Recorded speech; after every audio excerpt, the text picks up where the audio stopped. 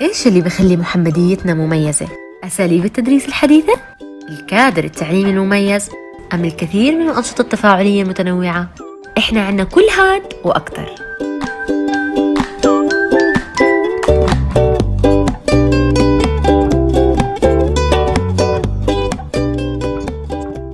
بناء الأمم يعتمد على البناء الفكري لأبنائها، نحن في المدارس المحمدية نعمد إلى بناء الفكر ومهارات الحياة، وهذا يحتاج إلى جهد من حيث الأنشطة، من حيث الكادر، من حيث المناهج التعليمية والمناهج القيمية، هدفنا في المدارس المحمدية أن نقدم النموذج الأمثل الذي يرضي النبي عليه الصلاة والسلام ويكون سببا للفوز في الدنيا والآخرة.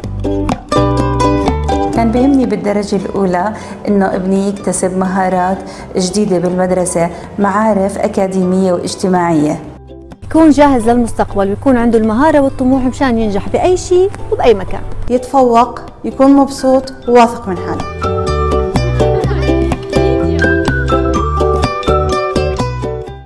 أكثر إشي بيميزنا في روضة المحمدية بإننا بنتعامل مع الطفل بفردية. نظام التعليم الأركان المونتسوري بيتيح للمعلم الفرصة بأنها تجلس مع كل طفل لوحده وتشوف قدراته ومعايير النتاجات عنده. وبتبدأ من عند النقطة اللي انتهى عندها الطفل. Play is far more powerful for children, even than many parents realize. It's actually the key to learn.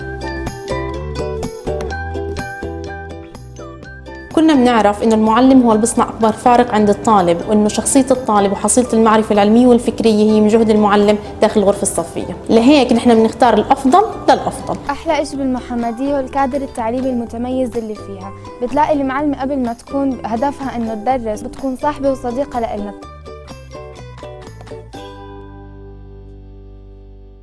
أكثر إشي أثر على شخصية ابني التعامل بين الأساتذة والمسات معه. خلاه يحب المدرسة كل يوم عنده. تجربة جديدة برجع بحكيها للبيت. متعلق بأساتذته وهذا بيأثر إيجابي على تحصيله.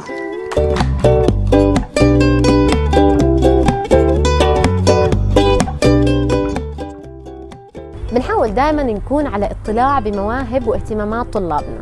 لهيك بنعملهم مسابقات ضمن هذه الاهتمامات. والله ماما بدنا العسل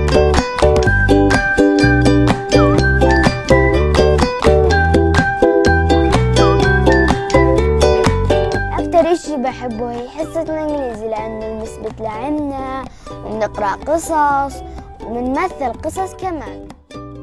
من المهم عندنا في مدارس المحمدية أن ننظر لكل طالب على أنه فرد يجب رعايته وتوجيهه خلال رحلته التعليمية. يوسف من النوع اللي جدا حساس وخجول. طاقم التدريس اللي عندهم كثير تعاطى مع يوسف بإيجابية. كسر حاجز الخوف حاجز الخجل وانعكس إيجابيا على مستوى الدراسي اللي هو أصلا عالي. حتى صار يشارك بنشاطات. كنت أترجاه يشارك بأي نشاط بتساوي المدرسة. هون صار هو يترجى.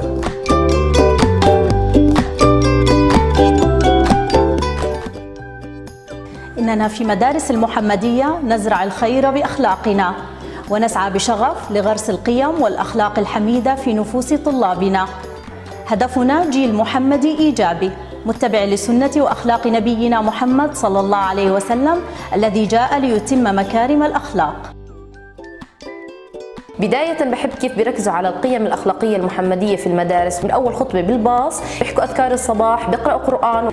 كثير كثير بيحبوا المدرسة لدرجة إنه يعني لما الجمعة السبت لما يعطلوا ما بيصدقوا متى تيجي الأحد لحتى يداوموا. كل يوم يسألون متى إيش اليوم؟ إيش اليوم؟ عشان يرجعوا يداوموا يعني. يعني بفضل الله رب العالمين عندي أيهم مع إنه كان داخل كي جي 1 وقبل الكي جي 1 بمدارس بالزرقاء ولكن بال KG 2 اختلف اختلاف جذري. جاب الأول بال spelling bee الأول بمسابقة القرآن الكريم وحفظ جزء عم. هاي أهم ركيزتين بالحياة إنه يكون الإنسان محصن دين ودنيا. أنا من أولياء الأمور اللي كنت أفتش على المدارس اللي بتهتم بجودة ونوعية التعليم. كنت عم بركز على نقطتين مهمين. أول إشي التحصيل العلمي.